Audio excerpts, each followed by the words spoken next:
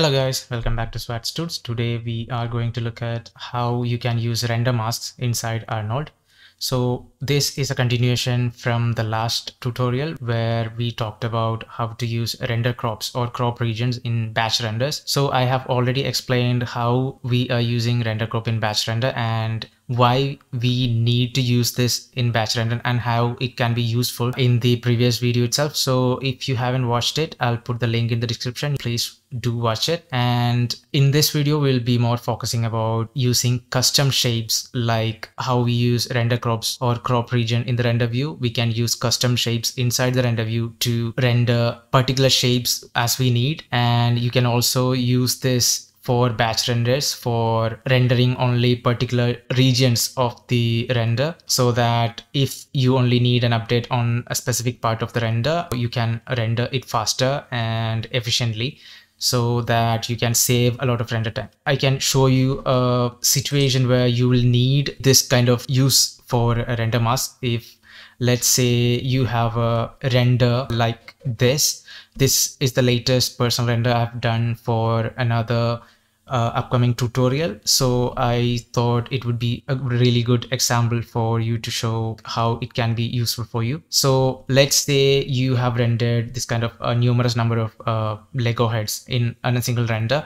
And let's say you want to change a particular head's color into a different color and you want to render it separately. The situation where it's not possible to render it in a single layer is one of the example would be if it is in a single instance. So if I open this Maya file, you can see I have used MASH instancing to create this file. So if I hide this instance, you can see the whole geometry is a single instance. So in this kind of situations, you cannot isolate and render a single geometry from this group to a separate layer. So in those kind of situations, what you can use is you can create a region crop region render or create a particular render mask so that you can only render those particular area and then you can merge it on top of it and comp it using nuke. So if it is a single frame. You can use definitely crop region and merge it on top of it easily. But the thing is when it comes to doing the same thing for a particular sequence of frames or if you want to use it inside batch render then these methods will come handy. So let's see how you can use this inside maya and arnold. So i have a simple scene from the last tutorial with the ball animation. So here in nuke i have the previous render.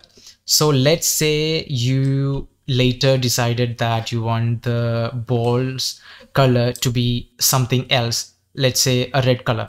So in that case since you have rendered it in a single layer you want to change or render only the ball area just like how we did with the crop region. So here we are going to use a custom shape inside maya for doing that. So let's first set the root format to be full HD or the resolution we have rendered this. So this is half HD. So I'm going to set the resolution to be HD 720 and I'm going to create a, a roto node here and I'm going to go to the first um, frame and I'm gonna create a roto shape. So currently I'm using a custom shape so that you will get an idea. Like you can create any kind of shape with this. Even you can create a, a circle or ellipse that will also work fine. What i am trying to create here is that I'm trying to include the shadows as well. So, because if we change the color it will also affect the indirect on the floor. So I want to include the changes on the floor as well with the render. So that's why I'm just creating this wider render region so that we will not miss that area. So now I'm going into the last frame and I'm moving the roto mask into the last frame. So if I see, I am roughly matching it to the moment of the board. So now what I want is I want the alpha channel of this uh, roto and I want to render this alpha channel as a mask and I'm going to use it inside Maya. So I'm going to render it as an RGBA and I'm going to put a write node. And I'm going to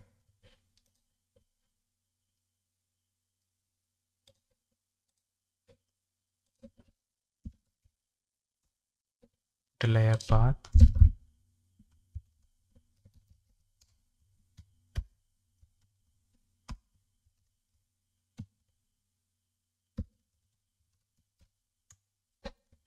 So I am rendering it as an EXR and I'm gonna render this. So let's see.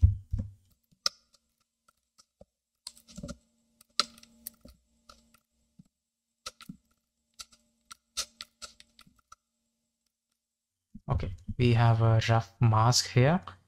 So now let's go back to Maya. And first thing I'm gonna do is I'm gonna create a plane. So what we are going to do is we are going to apply this mask onto the plane here and we are going to use it as an opacity mask so that it will block the camera rays and won't render any of the parts where there is no alpha. So I am going to keep the plane as close as to the camera. So the principle here is that anything which is visible on the camera should come behind the plane. The plane should always stand between all the objects which is we are planning to render and the camera.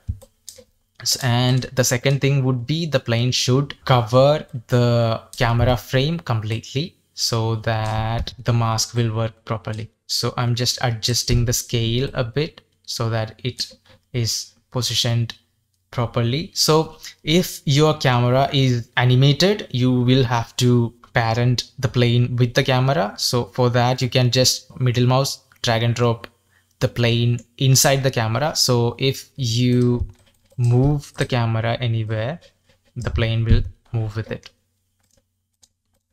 And now the next thing would be that we'll assign a new shader for the plane. So I'm going to assign an AI standard surface. This we are only going to use it as a masking plane. So we will not need any of the base or specular attributes. Actually, we don't need anything except the opacity. So since the shader doesn't have any color or specular, the camera rays won't calculate anything because there is no indirect or light information to calculate because it's completely black. So even if the frame is completely filled with a, a plane, it won't affect any render time. So the next thing would be to add the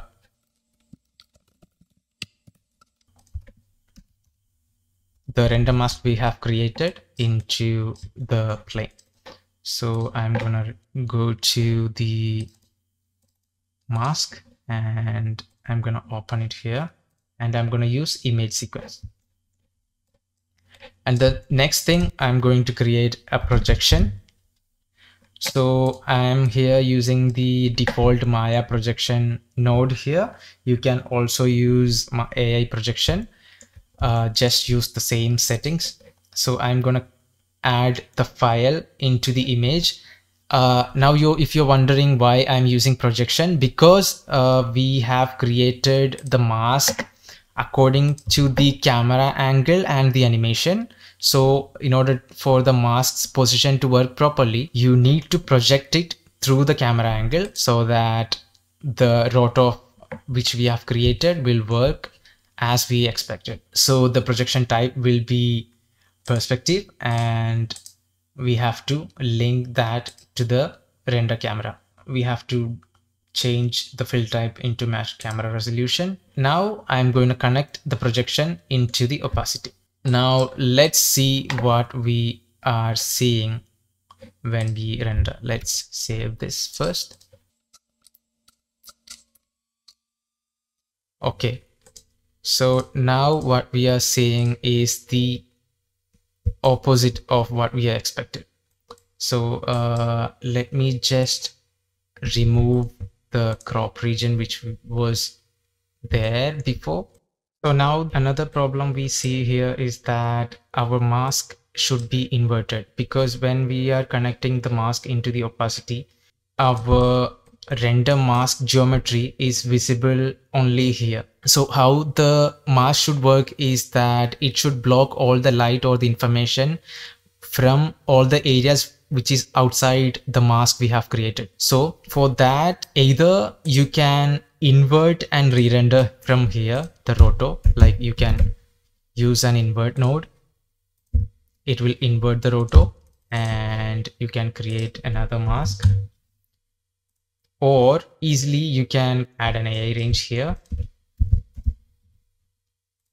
And connect the projection to the input and change the output min from 0 to 1 and output max from 1 to 0 and connect this into the opacity. That will invert our mask to our need. So now we have an animated mask which renders the ball in red color and we'll get the space we need and in this way you can render the area we need in any custom shape you want to. So now one more thing that you need to do if you see here on the alpha channel you are getting full alpha still here. So now you'll be thinking you can use the same mask in the nuke and cut the render in the nuke itself before merging or use the same mask in the merge node for the masking. But that may introduce some black edges on the edges of the mask or the render because there is black areas here inside the render. So it's better you render out only areas which is inside the mask. So for that what you can do is select the render mask geometry, go to its polyplane shape and on the Arnold, enable the matte option.